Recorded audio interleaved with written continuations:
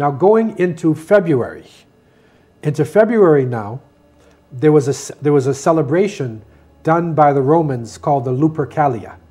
And the Lupercalia was based upon their gods of Pan and Juno. And um, they also, February is actually named after one of their gods as well. And so this is a time where you're coming out of the winter and you're going toward the spring season. And so they used to uh, have large gatherings of young people, and they would take the name of women, put them in a large container, and the men would choose them and literally have a sexual relationship. So it was based upon this, you know, Cupid concept. The Greek word is uh, eros. This is modern day Valentine's? Yeah, so I want to tell you where, where, where, where, it comes in now. Yeah. The Greek word is eros, erotica. Mm-hmm. Okay, so erotica is, is basically sexuality. And so that, that was the main issue on this occasion. And this is where you get cupids from and hearts and things like that, because this is actually the ceremony uh, of, you know, uh, open sexuality. What happened was they combined this with an individual named Valentine, who in the Roman times, in the, in the third century of the Roman era, he was protecting young people. The Romans said no marriage because we want men to fight strong in, in battle, so we're not going to let you get married. Valentine, you know, a religious priest, he disagreed with this. They put him in jail. He went against the state. Eventually, they executed him. And on the day of his execution, he wrote a letter to two of the young people getting married, and he said, From your Valentines. So that's where Valentine, he's St. Valentine's. So, so, so they took the concept of the open sexuality, put the name of, of a Christian priest on it, so it seems like a holy day, but actually it's the open sexuality of the Lupercalia. And that is the dangerous thing uh, for Muslims and people of conscience to get involved in this because what happens is pornography, erotica, this overcomes everything else. So it seems like it's innocent. It's like they say, a wolf in sheep's clothing. It seems like it's innocent because Valentine was protecting young people. But the reality is, it is an occasion where more people commit fornication and adultery, where rape happens, unwanted pregnancy. It is actually a dangerous time. So they take this, uh, this Christian man, his name is Valentine, put his name on top of it and call it Valentine's? Right. So he, he is an innocent person. He yeah. is a, a religious person who's protecting young people yeah. and wanting them to get married according to the rules of the church. Yeah. But, but, the, but the ceremony that's underneath, the current that's underneath, is loose sexuality. And, and this is where you see pictures of the Cupid. Because this is Cupid, his Greek name is Eros. Yeah. That's erotica. Uh-huh. And that is the reason why you will see in many of the movies uh, today, erotica is an overriding um, concept. So the, the movie stars are in space and they're fighting aliens and someone falls in love. They're under the ocean fighting, you know, a, a beast under the ocean, someone falls in love. They're playing baseball or basketball, somebody falls in love. Every movie, they're falling in love. Why? Erotica.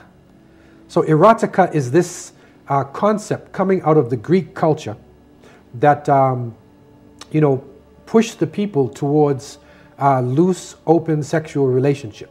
And this, of course, is very destructive to society. Not only is it going against you know, the law of God, but secondly, um, it creates unwanted pregnancies, uh, sexually transmitted diseases. Uh, it is one of the big problems and plagues in the world today when people do not organize their life take responsibility for their sexuality. Mm. Uh, there's a lot of damage that actually comes along with it, especially for the women.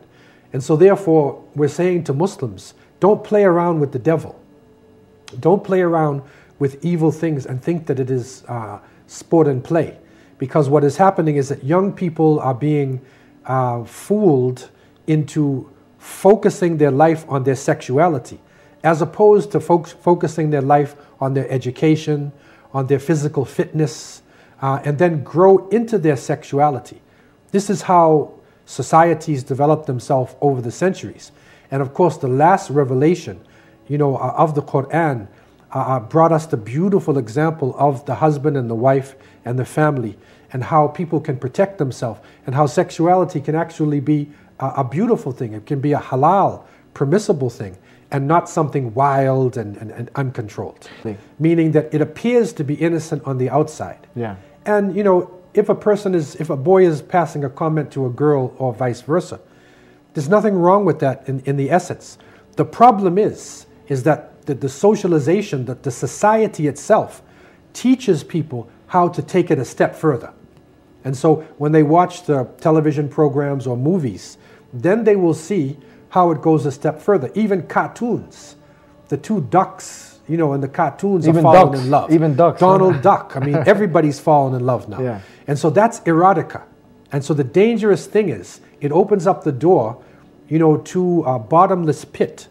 You know, it's a dangerous area because sexuality is a natural thing.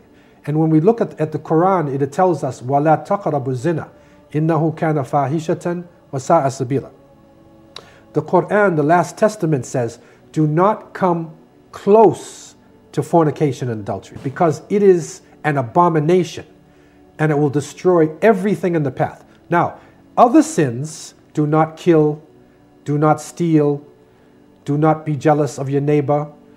You know, Allah says, don't do it. وَلَا تَقْتُلُوا النَّفْسَ الَّتِي حَرَّمَ اللَّهُ إِلَّا بِالْحَقِّ Don't kill innocent people.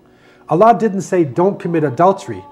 He said don't come near adultery. Now, what Islam is saying about sexuality uh, is very important because the creator of the heavens and the earth uh, is revealing to people there are certain actions that you shouldn't do. You shouldn't kill, you shouldn't steal, you shouldn't be jealous of your neighbor, um, you shouldn't you know, be involved in magic and uh, taking of interest and so forth and so on. But when it comes to adultery and fornication, Allah says, وَلَا تَقْرَبُوا الزِّنَا إِنَّهُ كَانَ فَاحِشَةً وَسَاءَ سَبِيلًا in Surah Isra. So it says, don't come near fornication, don't come near adultery, because it is an abomination and it will destroy everything in the path. So this is a dangerous um, thing. It, it doesn't say don't commit adultery. It said don't come near it. Now, why is there a difference between uh, killing and adultery? Because killing is not a natural thing. And any human being who sees another person killed, it should be repulsed by that. It's an ugly, detestable thing. But sexuality, that's what our bodies are created for. And so a man is naturally attracted to a woman. A woman is attracted to a man. So that's why Allah said, don't come near it. Because it's, a, it's something that we want to do. We are built to do that in order for the species, you know, to, to maintain itself. So therefore, what Islam is saying is that yes, have sexuality, but do it within the confines of marriage. Do it in an organized fashion where the man respects the woman, where the, you know, the family is set up, you know, where he takes care of his children. That's the way it is. The Lupercalia, the Valentine's erotica concept, is uncontrolled, undisciplined sexuality. And you'll find there are groups in Christianity and Judaism and other religions that know about the history of the Lupercalia. They know this. And they also are protecting themselves and their sexuality. There are Christian groups who give out a ring. They, they, they pledge themselves, they put on a ring, and they say, we, we, we are pledging ourselves to, be, to, to have sex in marriage. We're not going to be involved in illegal sex until we get married. These are Christian groups because this is the basis in all upstanding religions, you know, to protect the family, to protect the, the sexuality, and therefore you protect society.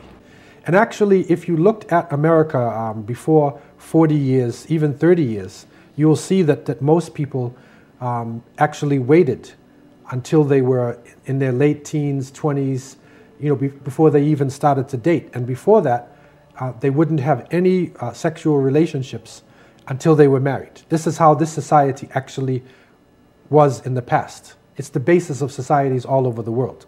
And it's only recently when erotica now enters into Hollywood and, and literature and it starts to overtake everything and, and changing society. And then, you know, people start, um, you know, taking off their clothes. Originally, when people used to swim, they had long clothings. If you look at people in the early 20th century, uh, a, a woman would have a, a, a bathing suit that covered most of her body. Uh, I can remember when I was young, growing up um, in America, in Boston, and I watched a movie called I Love Lucy. Yes.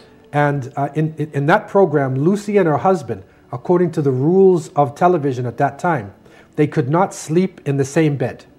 So therefore, when nighttime came, Lucy would go to her bed and her husband would go to his bed. Now look what's on television. Now it's like XXX in a normal movie. And what it is leading to is a society that has no limits, that where modesty is gone and where respect for the family is gone. And this is very destructive and dangerous to the whole society. And we are seeing the rise of sexually transmitted diseases. Having herpes is almost a common thing in, in, in some parts of North America.